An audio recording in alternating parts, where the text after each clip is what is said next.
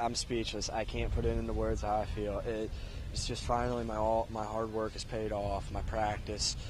It's just it's it's it's a great ending to a fantastic year, and to have it to maybe come down next year and have the chance to repeat as champion is is just something else.